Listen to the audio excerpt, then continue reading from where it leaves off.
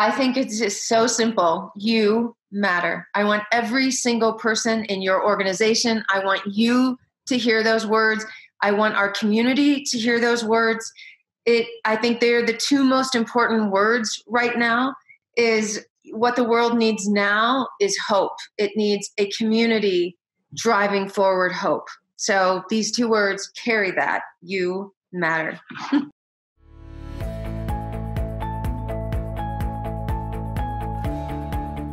we have the pleasure of welcoming Angela Maiers to our interview series. I'm Rahul from the Engati team, and this is another episode of Engati Engage. So let's just begin with a very quick introduction of what Engati is. Uh, Engati is the world's leading multilingual no-code chatbot platform across 14 channels with 25,000 bots created across 186 countries in every domain and use case. We run the Engati blog and the video channel, which receives upwards of 300,000 visitors annually and publish around two interviews with well-known names globally every month. And now for our guest, Angela. Angela is an established leader, entrepreneur, and a keynote speaker. She's the founder of Choose to Matter, a universal movement which has enriched lives with boosting the realization of self worth and individuals worldwide. Of individuals worldwide. She's the author of eight books and a regular contributor to the Huffington Post and is widely recognized as one of the most influential, voice, influential voices on social media today, consistently ranking in the top 1%. Her TED Talk, uh, TEDx Des Moines, are viewed hundreds and thousands of times and she has worked with an, uh, with organizations like apple and microsoft. Angela it's such a such an honor to have you on the show today.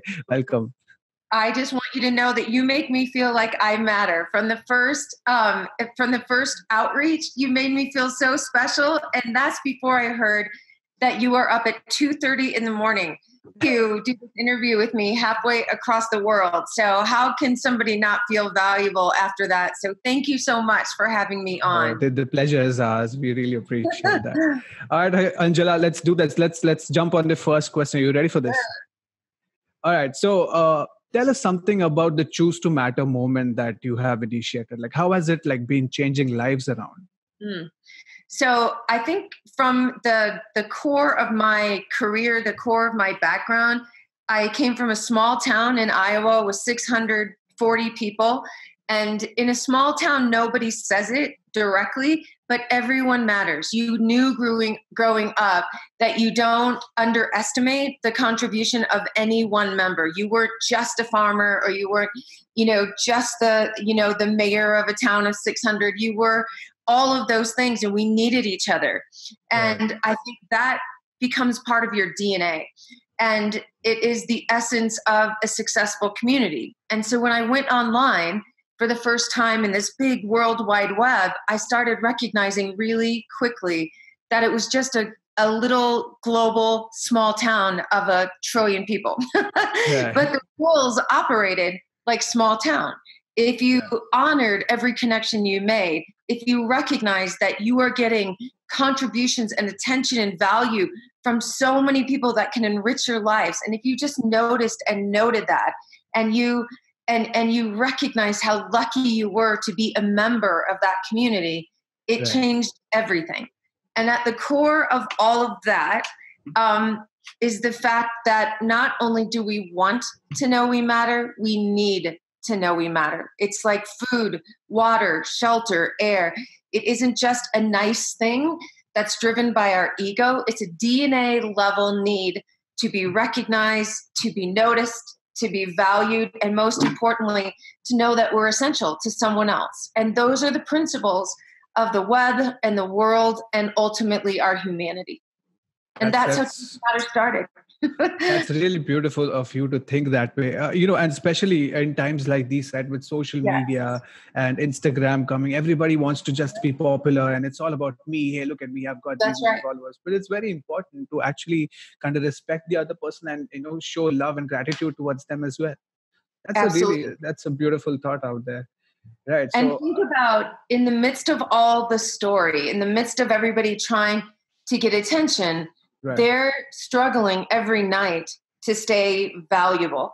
But the That's people true. that are waking up every day and serving and waking up every day thinking about others, and that's why mattering is a choice, and we call it choose to matter. It's a choice every single day to know who you are and own that, to be proud of what we call your genius, and to be mm-hmm. willing to share it with no expectation of reciprocity. It's the purest sense of who we are as human beings. And so people who do that every day, um, I think rise above the fray of everybody else. They're the leaders that we respect. They're the organizations. They're the businesses that we stand in awe of. Even if I don't like that product, but I saw that this company is truly putting their needs and serving the community. Gosh, my respect for them. They matter more to me. They matter more to the world. That's correct. That's and I think Yes, Whoever matters the most wins. that's 100%. All right. So moving on to the next uh, second question. Yeah. Uh, how has education changed with the evolution of technology? Like what new developments should we expect to see in our near future? I want to say with all of my heart, because I am a teacher to my core and, and my heart and soul is in education. Right if I went and looked at classrooms a hundred years ago and I looked at the kind of practice, meaning the kind of interaction between a teacher and a student, the kind of participation expected from a student, it would be under the guides of consumption, of correctness, of conformity, of um, covering whatever content needed to be. And you would think that technology would disrupt all that. And in some small cases, it has. But as a whole, we're just replicating those same expectations from a learner with a digital to devi- a digital device. We're asking right. them to consume content. It might not be in paper form, but it's on a screen. We're asking them to analyze and answer correct answers, not opinions, not creative thought. So, unfortunately, it's not been as disruptive as it should have been because I use the analogy of the Titanic. It's like somebody went in and spray painted the front deck of the Titanic and rearranged the desks and put in, you know, smart boards and tablets, but it's still the Titanic. We're still traveling and and nobody learns that way anymore.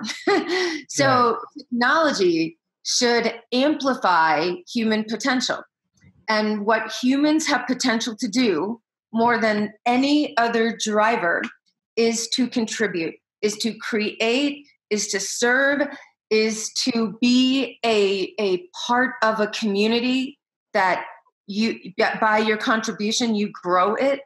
And technology should advance that and amplify that.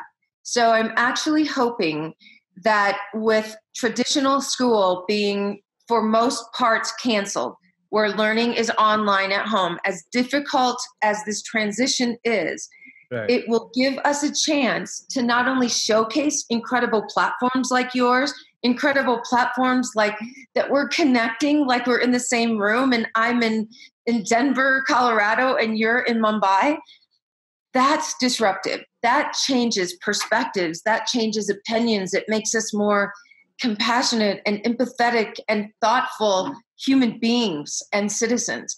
That's what I want kids to experience, education as a whole to experience without the pressure of the traditional expectations of content coverage and correctness and conformity and all those things that have burdened our system that's that's great i think like you know even like growing up at uh, like me myself also like grew up with these traditional uh, educational you know uh, institutions so i think we all grew up with these mental yeah. borders that we have around like yeah. you know this is how much you can help education or maybe this is how much you can teach a child but i think with you know uh, with especially like times like these i think it's like how we break those barriers and go be- yes. beyond that i think that's what uh, absolutely technology will help us do right my greatest hope is for technology to serve us with our ultimate goal to make a contribution that matters. And I think we are ripe for that. The world needs. So when I talk to young people, the first sentence I use is You are genius, and the world needs your contribution. So if you just take that sentence apart, and if I'm talking with five year olds, they're like, yes heck yes i'm an artist i'm a dancer i'm they are the gig economy right now in diapers.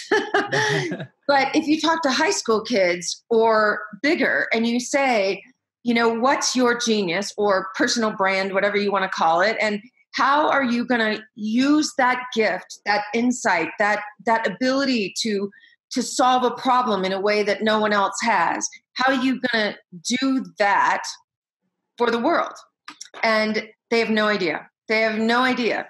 And so they know what they know but they don't know who they are. And i think that's our our greatest um, experience with technology is it helps us discover who we are discover who our community is how we can serve them and and to find creative ways to share our genius with one another. Right. And you know as they say in modern times right as we are climbing up the maslow's hierarchy yeah that yeah. it's all about self-realization and who we are as a human Ooh. being as a race right? I think the world is moving towards that i guess. I agree. I agree. And don't you think that with businesses shut down with industry shut down with people having this disruptive time we are asking the most important question we should be asking often and don't which is why do we exist? Correct. i mean it should not be a jarring question. If i say why does a fork exist it's simple to pick up food and feed you, you know? So right. we should be as quick to speak about why we exist. Why does our business exist? Why does do, does our profession exist? Why does our industry exist? And if we can't answer that in this context, then we need to really rethink a lot of things. And for educators, it's the time that we should ask, why do we exist? It is to liberate the genius of our children, to understand that we're developing kind, brave leaders and learners that the world needs. And right. we need to refocus back on that mission. Right. I think those are really some bold questions to ask. But yeah, I think that's when that's when the world changes. I think you've got to be strong enough to push the boundaries and you know yeah get across. That's Absolutely. beautiful. All right. So jumping on to the next one. Uh, yes so, Angela, chatbots are being widely implemented in the education sector, as we all know, right? So, what has been your experience with them? So, I've actually had um, really good and really poor experiences, as I'm sure most everybody has, and what you've um, thought about through your journey. Of course. I think that what I love about yours is that it is so multidimensional. I think you said you had 200, how many? 250 25,000 bots which are created. 25,000. I mean that that gets the the diversity of not only the conversation but the context in which we're saying the words that we're saying and using the words that we're using. So um, I, I think it takes a lot to get there. I don't see chat boxes at that level used in education. I see them as surface level responses. And I think in some cases, surface level responses are are good. Like you just want a basic question answered. You don't need to have a human being. But i think when it gets to tense complex questions or complex times. So i'll give you an example. I've been all over the government websites. No one answers the phone. No one's answering your questions. Everybody is confused. We are getting misinformation every other day about what the stimulus package is who's qualifying, when to qualify, what to qualify. No one can oh, answer yes. question. And that's the perfect time for a powerful chat box. When you don't have the staff, when you want to maximize and track the themes of questions, but to do it in a context where you really need responsiveness. And right. I don't see it being used in those capacities. And I think there's a lot of issues um, in education, in government, in industry that aren't one and two word answers. So that I think I've seen both. I've also had the experience with chat boxes being too intrusive. So when I'm exploring a new platform or a new site and I just simply want basic information to be more human, they're interacting with you like, and it'd be like a stranger walking up to you in a coffee shop asking you random questions. And so th- that isn't helpful. So I'll give you an example. I signed up because I'm trying to keep my mind and body fit. So I signed up for a workout app. And right. I'm getting the sign up and that, and immediately a chat box keeps interrupting me, keeps interrupting me and say, Who's your athletic hero? Who's your, like over and over, like, I don't need to think about my athletic hero right now or my goals. I just want to log on and know how to get to the taped workouts.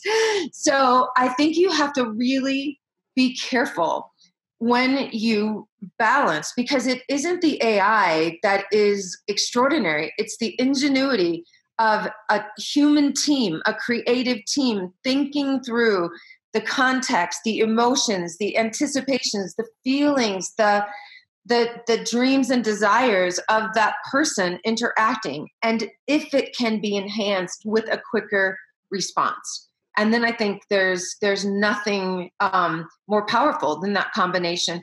Human genius and human ingenuity and creativity paired with groundbreaking technology. At the end of the day right? Uh, i just i just don't want a machine out there to be nosy to me and you know like trying to ask that's the that's worst right. thing i would like to like you know that's have with me right? right. Just like we take the or we should be taking the customer's journey with every touch point. So every touch point matters. Every touch point speaks to us. From from when the when the chat box starts engaging with us to how it starts engaging to what form it starts engaging. And i think it as soon as it reveals itself to not be helpful and not be something a human being would do. Like i was um, on amazon and i had a, a question about a return that was lost. And by the time I got done with the assistant, with the chat box, I had seven different automatic people, uh, automatic bots in charge of me with the same oh. line over and over, which cued me in that I'm not actually talking to somebody who's listening to me. So if you think about the core of mattering, we need, not wish, we need to be noticed and valued for who we are. So hello lady hello customer welcome like we want to hear our names like we That's really correct. want to hear our names so we know right away that we're dealing with another person who honors and recognizes the time we're taking we want to know that we're being listened to and heard. And when something is being repeated or a question's being repeated and you're like i just typed that in up there. Well it's a new box or i just put that in up there. Then you lose faith in the interaction and and i think it's worse than waiting online for a human being. I'd rather have waited and wasted that 20 minutes talking with a bot and waiting online just to get a human being. 100% so, yeah mm-hmm. so yeah exactly and we at engati we believe that you know at the end it's all about how comfortable you're making the customer right That's it's right. not not about being pushy not to like you know right. and that's why so, so that's how we integrated all of these nlps and ais that's and that actually kind of like helps our customer uh, you know when the customer comes on the page we take the name right. like hey angela how can i help you that's a little bit more human and you know you feel like totally. okay the person yeah. knows yeah and then you Absolutely. open up yeah that's that's a powerful statement that you gave us out there yeah all right angela and moving to the next one so so as an entrepreneur and as a leader I mean, what what advice would you give maybe to someone who's just starting out? I've really thought about that. I I think there's so many words of advice. Um, I th- there's just so many things that define what an entrepreneur does, and I think one of the telltale signs of an entrepreneur and a leader is they inspire by seeing opportunities everywhere this is a dark time for many people. We don't need another news cycle from our leaders. We need honesty, we need calmness, we need correct information, but we also need hope. And we That's need hope that our character and our community and our culture and values will transcend this moment. We have proof yeah. that we have been courageous in the past.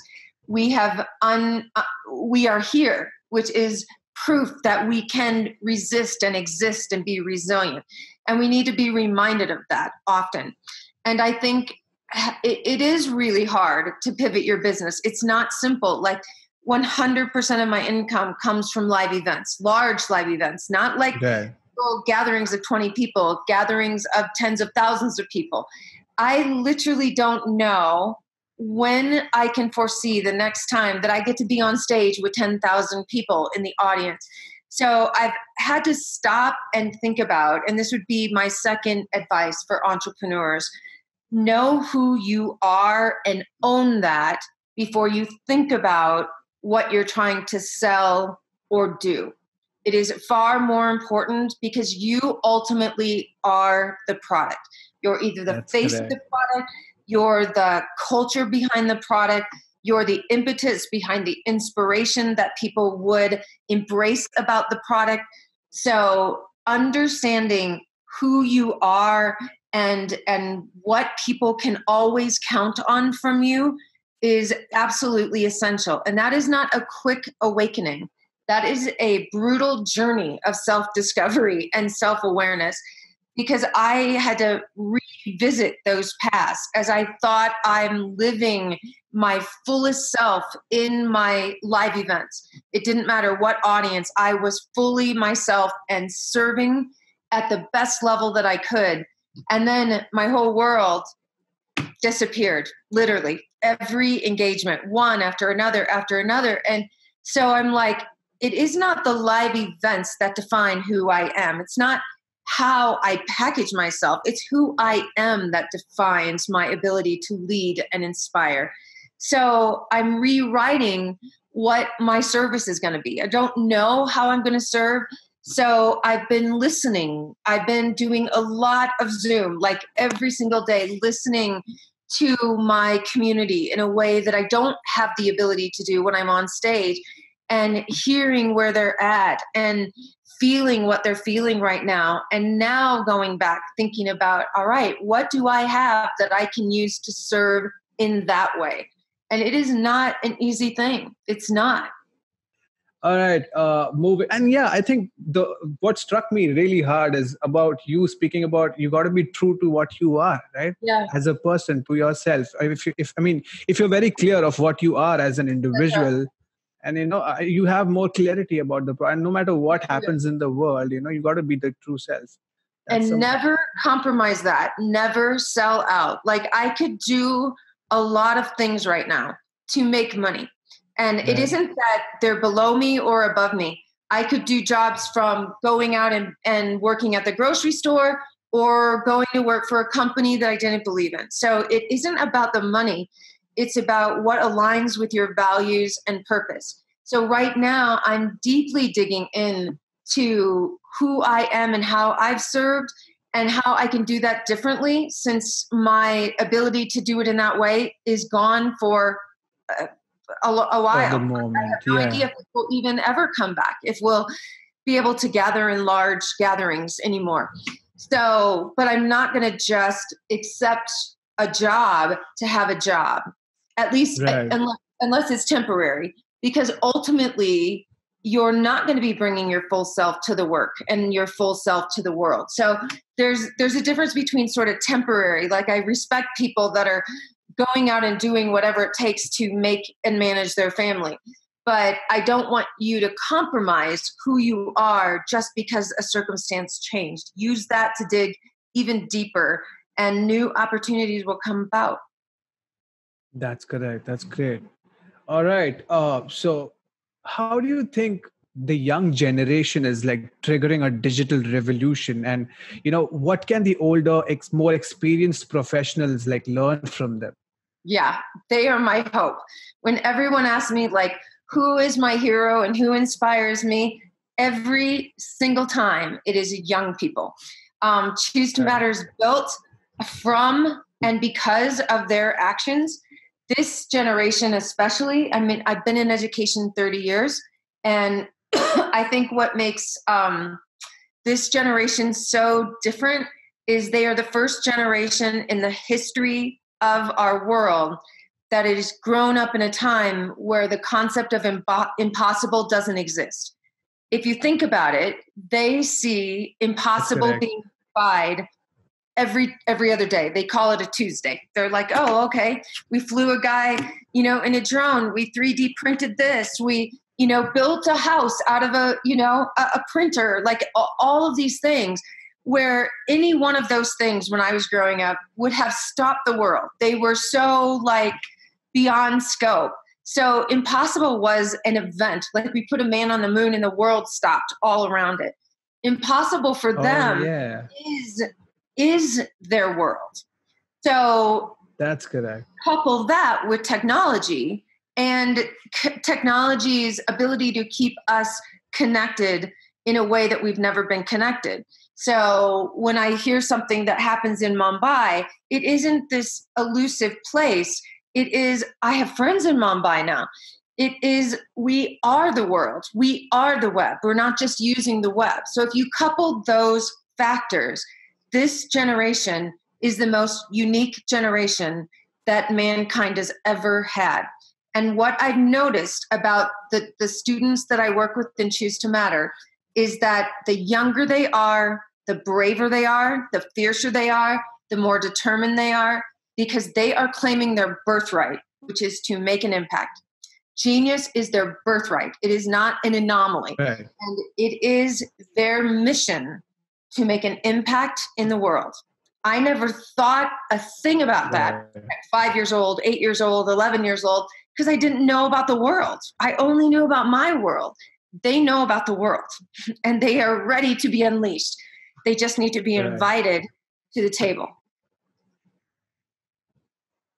That's correct. And I think, you know, technology helps a long way in like, you know, bridging the gap between their imagined yeah. what reality really is, is because, yes. you know, the way technology is really growing, I think the younger generation gets the advantage of that and, you know, they can actually 100%. get their imagination to the real world. Yeah. I a hundred percent. Yeah, they absolutely that's, have the capacity to to build a better world. They just haven't had the invitation to do that. So you need to invite them to do that. All right, uh, Angela, this was amazing. I have one question left, and that's: yes, is yes. are there any other sound bites that you'd like our viewers to, you know, you want to leave our viewers with? I think it's just so simple. You matter. I want every single person in your organization. I want you to hear those words. I want our community to hear those words. It, I think they're the two most important words right now after you're safe is what the world needs now is hope. It needs a community driving forward hope. So these two words carry that. You matter. That's amazing. That's a beautiful message to leave the viewers with. We are so appreciative of your time, Angela. We yes, really, absolutely. really appreciate this. It's been a great talk. Uh, and I hope to stay in touch with you. Hope you're safe. We are sending all yes, our prayers and you. love to you. Thank you. This was a fun talk. Thank all you so right. much. All right.